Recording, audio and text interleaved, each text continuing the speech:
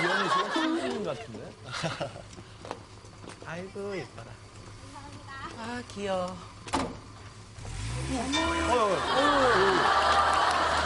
그래도 저거다.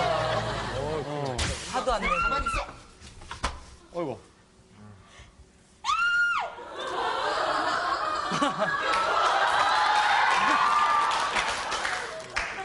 눈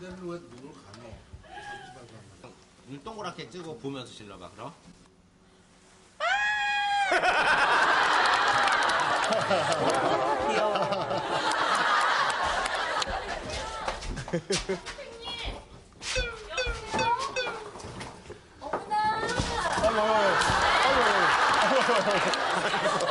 안선영 씨. 아, 안선영 씨. 왜 그래?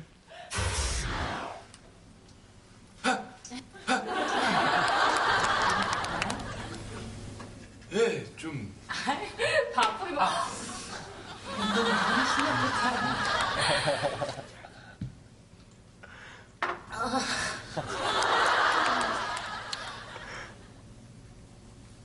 스킨 냄새.